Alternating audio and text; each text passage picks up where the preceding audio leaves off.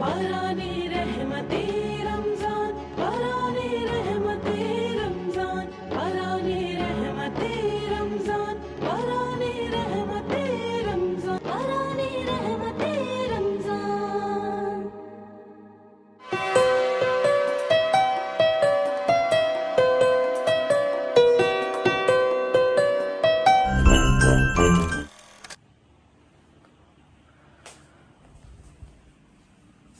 अस्सलाम वालेकुम my YouTube family क्या हाल चाल है सबके? उम्मीद है आप सब खैरियत से होंगे। जी, मैं भी बिल्कुल ठीक ठाक हूँ। अभी मैं सो के उठा हूँ तो साथ ही मैंने ब्लॉग शुरू कर लिया है। उठते ही सबसे पहले बिस्तर वगैरह को सेट किया है, साथ अपने कपड़े निकाले, अभी कपड़े वगैरह चेंज करते हैं। तो जी रात को मैं लेट नाइट वापस आ गया था गाँव से तो गाँव वाले घर का काफ़ी नुकसान हो गया है। ये बारिशें बहुत ज़्यादा हुई हैं। तो अभी नया घर बना था तो उसमें जो हमने गिराज के साथ वाला जो लॉन बनाया था, उसमें बारिश का सारा पानी जमा होता रहा है, वहाँ थी कच्ची मिट्टी। तो वो लॉन के साथ ही उसके अंदर पानी जाता रहा है, वहाँ से वो नीचे से गिराज से होता हुआ दूसरी साइड से दीवार वाली साइड से बाहर निकल गया है। तो जिसकी वजह से अंदर वाली जो ज़मीन है, वो खोखली सी हो गई है, वो ऊपर खड़े हो तो उसके अंदर से अब आवाज़ आती है। जो मिस्त्री को बुलवाया था, उससे डिस्कस किया था सारा मामला, उसको बताया था कि ऐसे पानी वगैरह पड़ा है। तो उसने यही मशवरा दिया है कि आप यहाँ यहाँ ऐसा करें कि यहाँ से एक दफ़ा मट्टी निकलवा दें। तो एक दफ़े इसको हवा वगैरह भी लगने लग जाने दें। उसके अलावा इसके अंदर और मट्टी डलवा के इसको काफ़ी दबवाएँ। उसके बाद या तो इसको आप कच्चा कर दें इस साइड को, जो लॉन वाली जगह है, उसको कच्चा करवा लें, सीमेंट वगैरह। उसके ऊपर आप मट्टी डलवा के लॉन वगैरह फिर बनवा लें। अदरवाइज़ आप ऐसा करें कि, या पक्का करवा के उस पर आर्टिफिशियल घास वगैरह अगर आपको ज़्यादा शौक है तो आप वो लगवा सकते हैं। तो जी एक तो ये नुकसान का आपको बताना था ये बता दिया।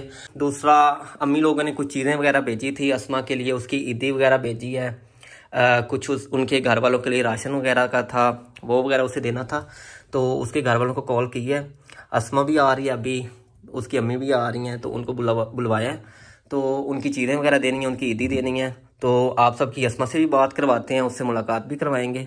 तो फिर असमा आती है तो फिर आपसे दोबारा मिलते हैं। मैं भी कपड़े वगैरह चेंज कर लूँ फिर इंशाल्लाह आपसे दोबारा मुलाकात होती है। जी तो कपड़े मैंने कर लिए हैं चेंज आज पहना है ट्राउज़र शर्ट हाँ जी। तो जी असमा और उसके घर वाले भी आ चुके हैं। तो असमा कर रही थी घर में काम शाम सफाइयाँ वगैरह कर रही थी।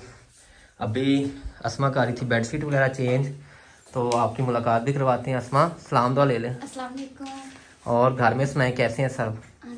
सर ठीक हैं। कौन कौन रोज़े रख रहे हैं? ए, मैं और मेरा भाई। अच्छा भाई और आप बस रख रहे हैं? हाँ बाकी सारे ठीक हैं? अम्मी अबू सब हैं आपके पास तो वो मेला भी लगा हुआ था। हाँ वो लगा हुआ। गए हुए आप मेले पे? नहीं अभी तो नहीं अच्छा आज का दिन भी है मेला है ना? हाँ जी। सही। बाकी बहन भाई सब ठीक हैं? हाँ जी सारे ठीक तो जी असमा की आई है ईदी और साथ इनके लिए कुछ अम्मी जी ने राशन वगैरह भेजा है वो भी इनको देना है। तो बाकी आसमान से काम कोई छोटे मोटे करवाने थे घर के भी तो ये एक तो बेडशीट चेंज हो गई है। बाकी क्या क्या किया इसमें काम? ऊपर कर सफाइयाँ छाती सी और सेन वगैरह? हाँ बाहर वाला सेन गिराज। वो भी धो दी और कमरे? वो भी कर दी कपड़े? हाँ जी वो को धो दी अच्छा सारा हो गया? अब क्या रह गया?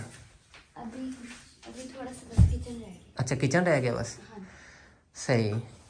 चले। जी तो असमा अभी शफाइयाँ करती है तो इसकी चीज़ें इसको देते हैं फिर आपसे दोबारा मिलते हैं। जी तो काम शाम सारे हो गए हैं कंप्लीट ये कपड़े वगैरह कुछ धोए हैं असमा ने कुछ चेंज शेंज किए हैं चीज़ें चीज़ें तो अभी पूछते हैं और सुनाइए असमा सब ठीक है? हो गए सारे काम कंप्लीट जी हो गया ठीक है चलिए ये आप ले जाएँ फिर इंशाल्लाह होती है। तो नेक्स्ट फिर आप आना नेक्स्ट वीकेंड पे ठीक है? नेक्स्ट इतवार ठीक है? जो। बाकी आपकी चीज़ें चीज़ें रहती हैं वो फिर आपको नेक्स्ट वीकेंड पे। ठीक है? सबको सलाम तो देना फिर ठीक है? तो कुछ मैसेज देना है आपने? बाजी लोगों को? हाँ जी बाजी लोगों को मेरा सलाम तो उसके घर वाले वो जा रहे हैं सामने। तो जी मैंने सोचा है कि आपको लोन भी दिखाता जाऊँ। ये बारिशें इधर भी काफ़ी ज़्यादा हुई हैं। इधर ये देखें बहुत ज़्यादा प्यारे फूल लगे हैं।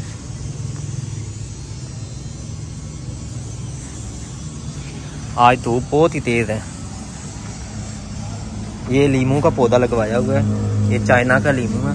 ये लगे हुए हैं इसके ऊपर लीमू में ये देखें। असलम मैं YouTube फैमिली, कैसे हैं आप सब? उम्मीद करती हूँ कि सब ठीक ठाक होंगे। अलहमदिल्ला हम भी बिल्कुल ठीक हैं। और माशाल्लाह, रमज़ान भी बहुत अच्छा जा रहा है। आप सबके रोज़े कैसे जा रहे हैं? आप सबने स्पेशल दुआ करनी है कि बस इसी रमज़ान में ना हुसैन भी फर फर बातें करे और उसकी भी प्यारी प्यारी बातें आपको हम सुनवाएँ। तो बस आज की रूटीन आपसे करेंगे शेयर अब ज़फ़र ने और मैंने डिसाइड किया है कि कुछ भी लोग वो बनाया करे, कुछ यहाँ मैं बनाऊँ कि मेरी बहुत ज़्यादा टफ रूटीन है। बच्चों के साथ घर में बहुत सारा जो है ना, सारा दिन भागम भाग चला रहता है सिलसिला। तो आगे से अपने बस रमज़ान के फ़ौरन बाद जो है पाकिस्तान जाने की भी तैयारी करनी है।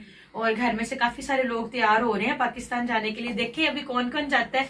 तो चलें जी, आज की क्या क्या रूटीन होगी? आज एक तो किचन की डीप क्लीनिंग है, एक बच्चों को नहलाना है।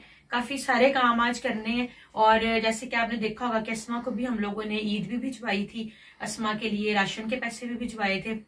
ईद अब वो अपनी शॉपिंग अपनी मर्ज़ी से करेगी, उसे कहा तो था हमने। तो बाकी साथ साथ चैरिटी का सिलसिला भी चलता रहेगा। गाँव वाला भी कुछ ऑलमोस्ट कोई एटी परसेंट हो गया 20 परसेंट लोग रहते हैं, कुछ सिटी के हैं, कुछ वैसे हमारे इर्द गिर्द जो हमारे हेल्पर्स हैं, और भी वहाँ पे।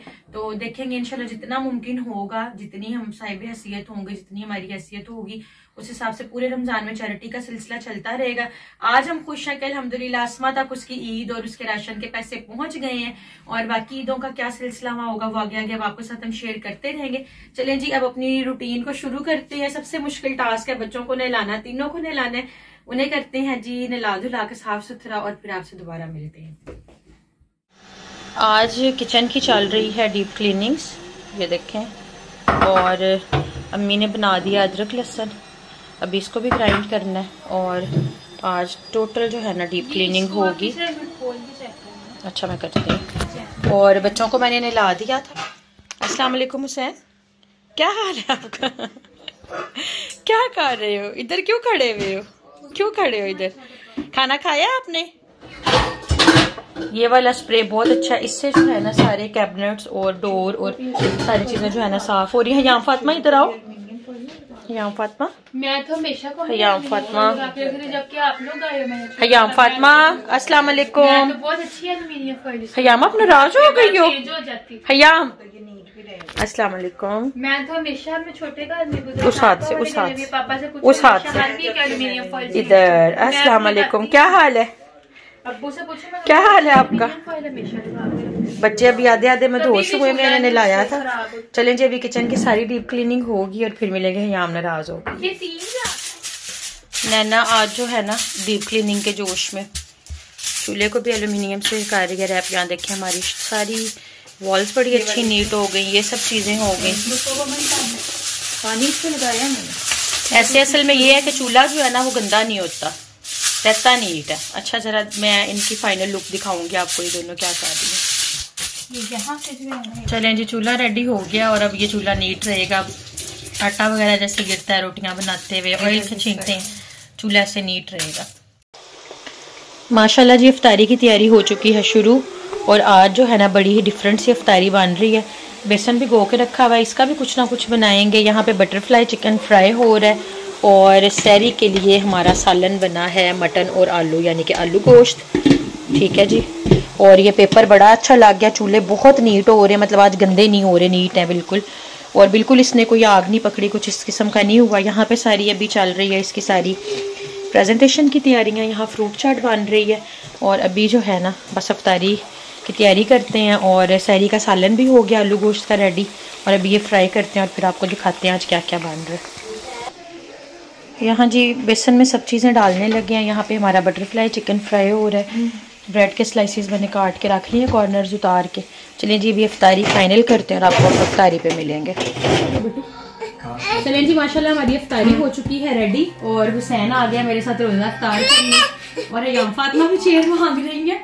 और हमने आज बनाए हैं जी खजूरे हैं फ्रूट चाट है बटरफ्लाई चिकन है और ब्रेड पकौड़ा बनाए हैं। और जूस बच्चों से छुपा के रखा हुआ है। तो आपसे मिलेंगे जी हम कल। किसी बहुत अच्छी सी वीडियो के साथ अपना बहुत सारा ख्याल रखिएगा दुआ में हमें याद रखिएगा। टेक केयर अल्लाह हाफिज। अल्लाह हाफिज कर दो सर अल्लाह हाफिज कर दो। अल्लाह हाफिज।